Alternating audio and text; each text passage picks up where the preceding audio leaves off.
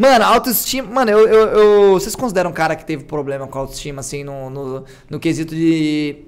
De não se sentir bem com, com o próprio corpo, assim, e ficar meio constrangido num, num ambiente. Tipo, você tem essas pira? Mano, Ou eu cresci teve? com essa pira, eu cresci. com- Mano, eu tenho vários problemas que relação que que fez eu crer. Eu não sei se isso hoje me fez mais forte ou se isso me atrapalhou, mas eu tive vários problemas de autoestima.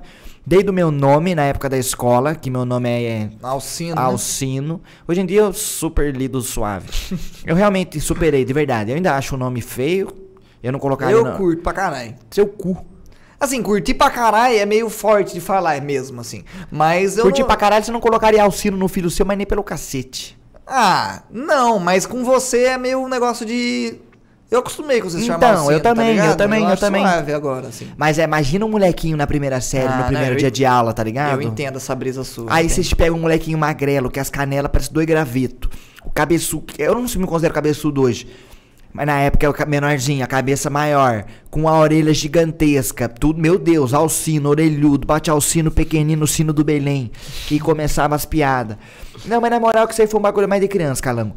Eu, ó, no meu, nos meus 12 anos, eu sempre fui magra a vida inteira. Eu tô começando a engordar hoje. Hoje, literal mesmo, porque eu tô tomando. Agora, agora, agora. É, você tá, agora você tá nesse processo. eu comecei a engordar mais e me, e me ajuda.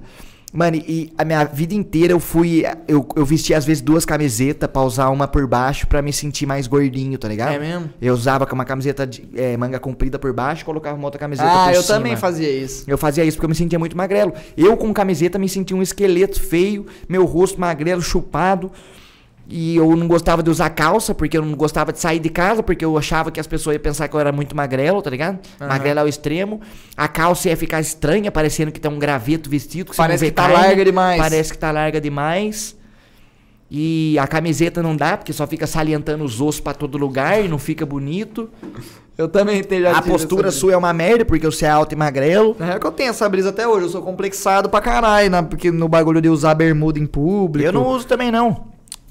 Não, mas você tá mais suave do que eu, você quer saber? Muito É, velho, eu tô de mais. shortinho curto Ah, mano, minhas pernas, assim, é um negócio de... Parece que quando eu ganho peso, eu ganho peso só da cintura pra cima. Do resto fica igual sempre, assim. Então eu, eu- eu sou muito complexado pra usar bermuda até hoje em dia, assim. Pra tirar a camiseta nem tanto. Mas é, eu, eu acho que, assim, eu sou meio estranho. assim. Nossa, eu não tirava. sem camiseta. Claro que não, maluco. Por que, que eu faria o balela sem camiseta? O Zé já fez, lembra? De bêbado levantando a camiseta. Ah, não. Ah, mas eu fazia pela zoeira, tá ligado? Porque aqui não tem ninguém zoando, eles vão zoar depois, foda-se. Mas uma coisa é o lance.